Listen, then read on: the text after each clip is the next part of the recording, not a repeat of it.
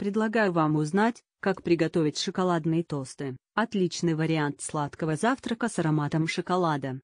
Такие тосты можно намазать сливочным маслом или нутеллой, так они станут еще вкуснее.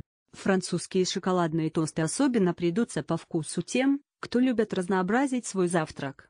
Такие шоколадные сытные тосты порадуют вас приятным ароматом и внешним видом. Вместо ганаша вы можете использовать обычную нутеллу либо растопить свои любимый шоколад на водяной бане и смазать тосты им.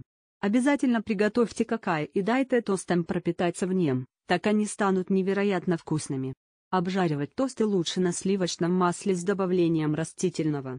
Приготовьте шоколадный ганаш. Шоколад растопите со сливками и сливочным маслом на небольшом огне, постоянно помешивая. Не перегрейте смесь.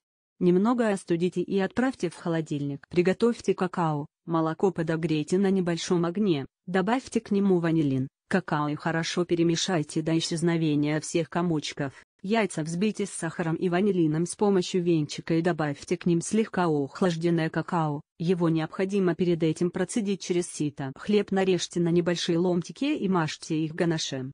Затем скрепите до ломтика хлеба, это будет одна порция. Какао с яйцами перелейте в плоскую емкость и поместите туда ломтики хлеба, чтобы он хорошо пропитался. Отправьте емкость в холодильник. Через минут переверните хлеб и оставьте еще на минут пропитаться.